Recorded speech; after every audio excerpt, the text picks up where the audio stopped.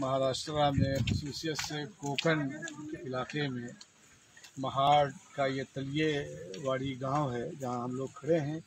ہمارے ساتھ جمعیت علماء ہند کے ریلیف کمیٹی مہاراشٹرا کے انچارج کنوینر حضرت مولانا مفتی صاحب، مفتی رفیق صاحب دام برکاتہم اور جمعیت علماء ہند آرگنائزر مولانا شفیق احمد قاسمی صاحب، مولانا ظفر صاحب، مولانا جمال صاحب، حافظ سرفراز صاحب اور بہت سے احباب اس وقت یہاں ہیں۔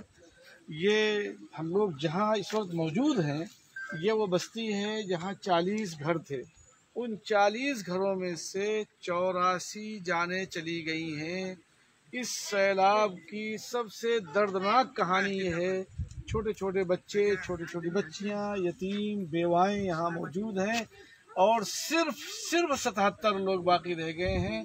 چوبیس خاندان میں کوئی آدمی جو یہاں موجود تھا، ان میں سے کوئی بچا نہیں ہے۔ جو لوگ نہیں تھے ان میں سے ستہتر لوگ بچے ہوئے ہیں۔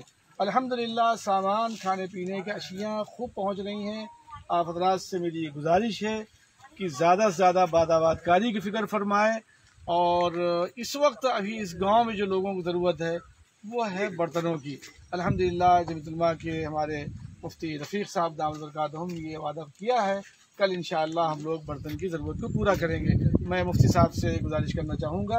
قوم کو اس جگہ پہ جہاں آپ کھڑے ہیں، اپنا بھی اور اپنے ساتھیوں کا ذکر فرمائیے۔ اور میرے خیال میں مہاراشٹرا کی سرزمین پر اس سے دردناک کوئی واقعہ میرے علم میں اب تک نہیں ہے۔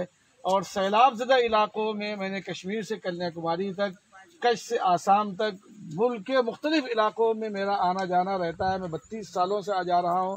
حضرت مولانا سید محمود بدنی صاحب کے ایما پر اس وقت ہم لوگ یہاں حاضر ہوئے۔ ایسی تباہی و بربادی جس سے دل پھٹ رہا ہے، ہم نے ابھی تک نہیں دیکھا ہے۔ اللہ رحم فرمائے اور خیر فرمائے۔